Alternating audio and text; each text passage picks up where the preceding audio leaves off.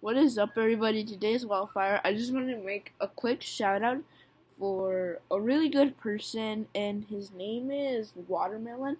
I will leave a link to his channel on the description, and he has multiple channels, and I will try to leave those channels as well so you can subscribe to them. Uh, so yeah, this this was just a shout out for Watermelon because he's just a really good person. I just decided to make this a shout out for him because he's just a really good person. Like for me, he, he did a lot for me, and I just decided to make something back for him because I just thought it would be fair. Anyway, I just wanted to make this quick video. Anyway, Watermelon, if you see this, uh, you're an awesome person. Uh, keep up the good work, buddy, and I'll see you later. Bye.